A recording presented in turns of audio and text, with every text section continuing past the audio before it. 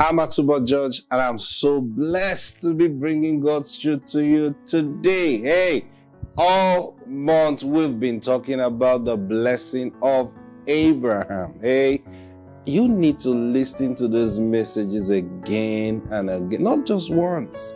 Let it be established in your heart. Now, today is Friday, and it's the last Friday in the month of April. Praise God. Hey, what does that tell you? Now, this is our last broadcast for the month. By Monday, we'll be in the month of May. And I want to invite you, first of all, to our prayer and fasting program on the 1st. But it actually begins by 12 midnight, entering the 1st of May. And, and we'll be fasting until uh, we finish, because we pray according to the watches. So we, we're going to be praying at 12 midnight, and then at 3 a.m., and then at 6 a.m., 9 a.m., 12 noon, 3 p.m., 6 p.m., and then the final watch, which is 9 p.m. So we're going to be fasting all around until after we're done with the last watch. Now, each prayer lasts for about one hour. So I want to invite every one of you.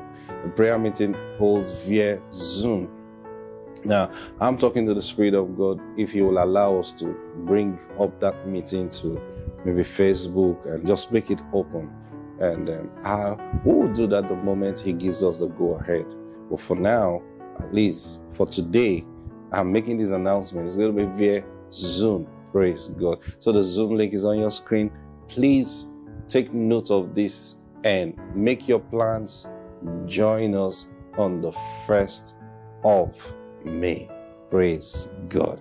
Woo, glory. Now, I, I believe these teachings have been a blessing to you. Why do I spend time? For example, why would I take a whole month talking about one, just one topic? The reason is this. To everything we have believed in Christ, the establishment of its truth in our heart is the most important.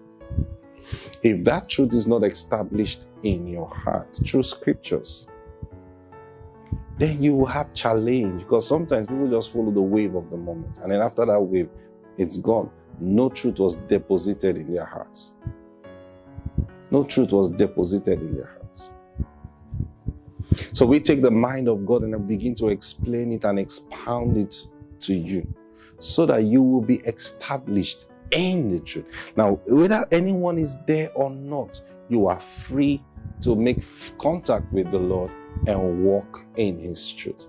The quality of truth you know will determine the quality of life that you live.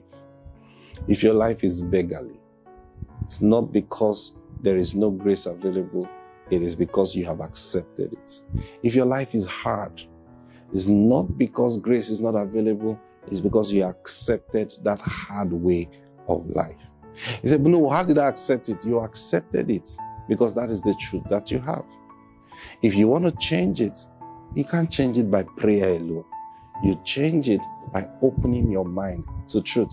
I told you on Monday, what prayer does is to change you first. If you're really praying, then you will be changing. You will see yourself change.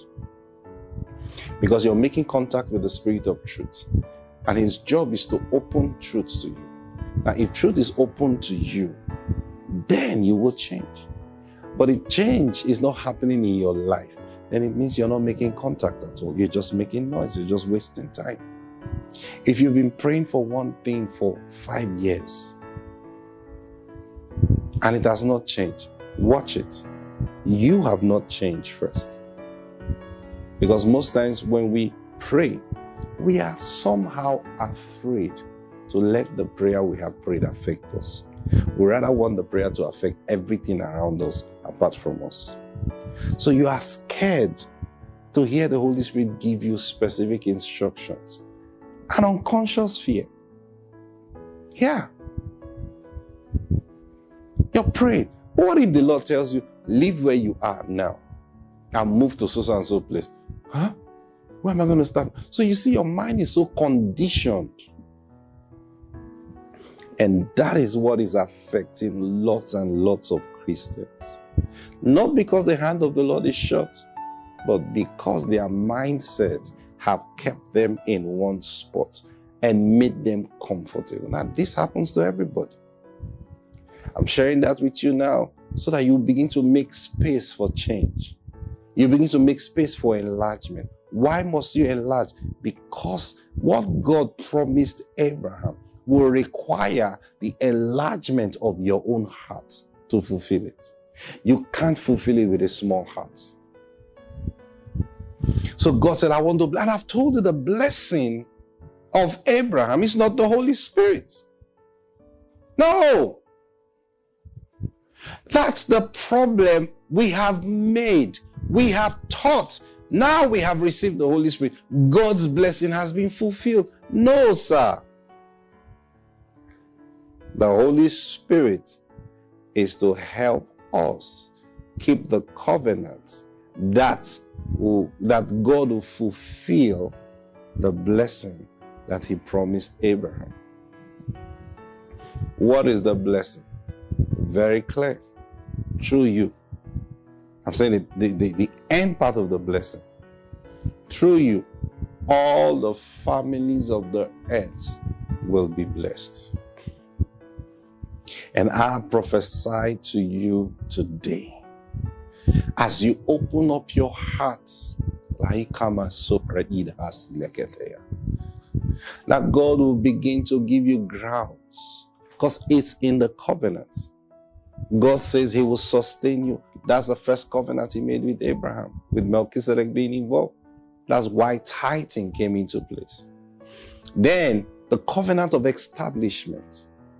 God saying that I will establish you even in a foreign land where you are. So, what does that tell you? Why would God give us a foreign land as our possession? I'll tell you why. Because He wants to bless all the families of the earth. So, He wants to ensure He gives ground to his children in such, such places that they can encircle the whole earth. Do you understand that?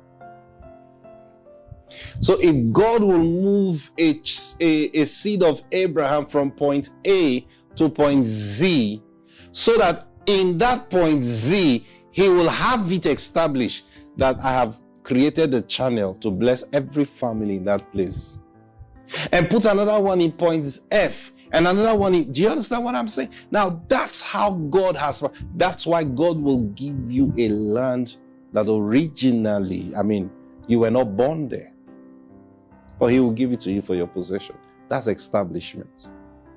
So, so I prophesy to you that God is raising you up to establishment. God is opening up corporations, He's opening up businesses, He's opening up factories, things you, as one person, will be responsible for supplying the blessing to a lot of people. Expand your mind. Everything that I've closed your mind, I command your mind to be opened right now. In the name of the Lord Jesus Christ. Let the Holy Spirit begin to deal with you in such a manner that your mind will be forced to expand. In the name of the Lord Jesus Christ. Thank you, Holy Spirit. You know, I was teaching you sometime when we talk about we talk about tithing. This is the reason. Now that the Spirit has come, how do we keep the covenant of sustenance? We still keep the covenant of sustenance by tithing. You say, how? Yeah, now the Spirit has come. So I'm blessed. Now remember, you tithe after you have been blessed. You tithe after you have received. You don't tithe so that you can receive. You tithe after you have received. But this is the consciousness. And this is what's going to keep the receiving coming. This is what's going to keep the, the blessing coming. When you receive, you first remember that I have received because God has given me the power to get wealth. That's your thinking. Not, oh, I'm the best worker in this place. I'm a hard worker. No, sir. No. There are people who work harder than you. And let me tell you this truth. Now, you may start as receiving salary, but you must graduate to something far bigger than your salary. Every child of God is entitled to it. You don't necessarily have to stop working, but grow your mind to get bigger than the job that you do.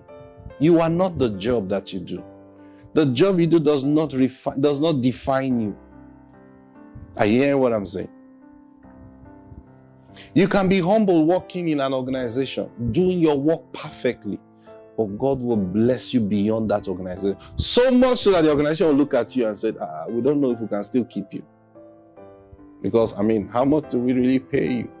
And they've checked all their records. You are not stealing their money. Praise God. Yeah, because your life is plain. Because you're blessed. But how does that happen? You recognize from the little you get, it is God that gives me the power to get well. Now, why? So that He will establish His covenant. What is the covenant?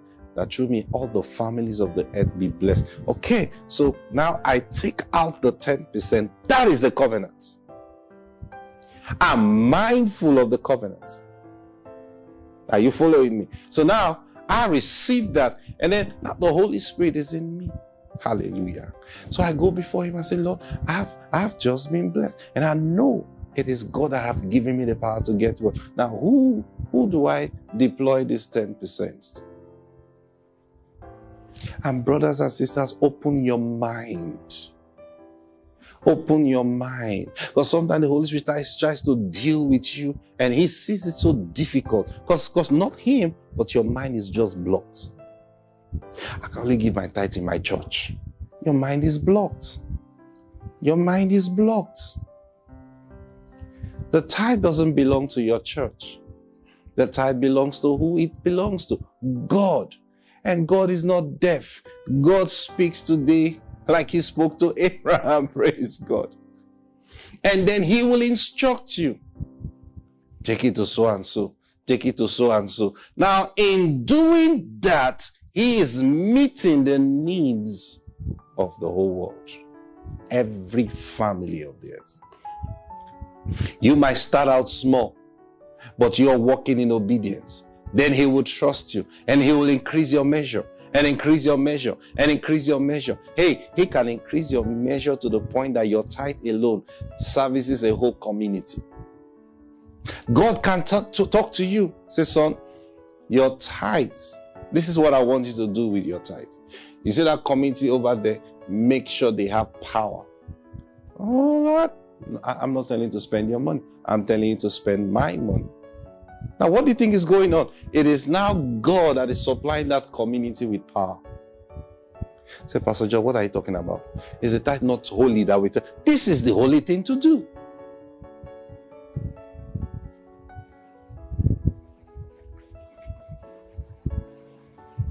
Go, and, and, and, here is the secret. Oh, you know, when we speak by the because because eh, speaking by the word of God doesn't Thus says the Lord. This is what you should be doing with your time. I'm telling you the mind of God. Now, watch this. Watch this. Mm. You got your money, you, you got some money, and then you are praying over your tithes. And God says, Go and drill a borehole in so and so community with your tithe, with my money. Hmm. Hmm. Lord, yeah. Okay. Now you go over there and obey the Lord. Now you are under command by the Lord. Hey, you go to that place. And then they say, Oh, we don't have water. I say, Yeah, God has answered you. We've come to drill borehole. Now you drill that borehole. Who's the owner of that borehole? God, right? And do you know what that means? An angel will supervise that borehole. Do you know what, know what that means? that community, there is an evidence, there's a record in heaven that the blessing of God has reached that community. And guess what will happen from there? It will begin to expand and expand and expand till all the families in that community is blessed. That single act of obedience by you will attract every other person to obey God where that community is concerned. And before you know what's happening, that community is blessed. Their children are now going to school. And uh, now, now, not just, but God can speak to you about. So one will say, um, all the families of the earth, we're not just talking about packing food in in in takeaway packs and going to share street by street. There are people who are called to do that. It depends on everybody's level. But can we simply obey God and let Him fulfill? He says that He may fulfill His covenants, establish His covenant, which He swore to your fathers Abraham. God wants to see not just you know some people say that eh, government government don't know what to do. Is it not government responsibility? Brothers and sisters, no, sir. It is God's responsibility, and He's doing it through His children. Are you a child of God? Then get big, get big. Get big. Oh, light has not come to our uh, community. I don't know what these government people they are doing with the money. Ah, no, no, no, no, no. You, you don't need them. Oh no, you don't need them. Get big. Kalabosopra ida hasulaiga. Let the government wake up one day and hear that something is happening in that community. Let the government wake up one day and hear that ah, ah, who built all these roads here? Uh, we did. Why? Because now, now listen. There's a difference between you making up your mind to say, hmm, we don't have roads in that community. Maybe I should do one contribution. There's a difference between that and when you are commanded by God. When you are commanded by God, you, while you are doing that, the angels are supervising it. Because it will fulfill the purpose of God. God will not tell you to go do something in a place if He has not carried out His own visibility studies. So all you need to do is to do your own obedience all the families of the earth? Yes, all. All the families of Afghanistan, the families in India, the families, all, all, all. What we see today, brothers and sisters, is because God's children have not grown in knowledge and understanding. So God, in the act of mercy, is picking up random people to bridge the gap while he's doing that. So, you know, most times people say, eh, why is that? It is unbelievers that are rich. They are not really rich. They are bridging the gap, waiting till the sons of God will come. Now, you that is supposed to rise as the child of God and become so big, and you are not doing this because now most of these people that are going and doing philanthropic work, you know they have an agenda. There's something that they are trying to get, but you are just simply obeying God. You're not saying, and let's do this so that by time you know we, we, we want to do this business, they will allow us to do our business. Eh, hey, eh, eh, hey, hey. You are doing it because you are under command from heaven. And yours will be sustained because angels are involved. Brothers and sisters, there's so much work to be done. But we are not, we are not even started. We've not started yet because we do not understand what God is thinking. We do not understand what God is saying. He says he will sustain you. Then he will establish you. He will establish you in places you least expected. He will establish you in places you never thought you had anything to do with. He will establish you. I pray over you right now. The voice of God is coming loud and loud and loud in your hearts.